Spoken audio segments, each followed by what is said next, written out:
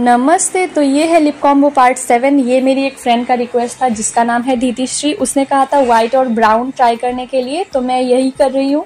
और इसका जो मिक्सअप है, शायद बहुत अच्छा आएगा, क्योंकि ये दोनों कलर अलग अलग बहुत अच्छे हैं। तो यहाँ मिक्स कर रही हूँ मिक्स कर रही हूँ।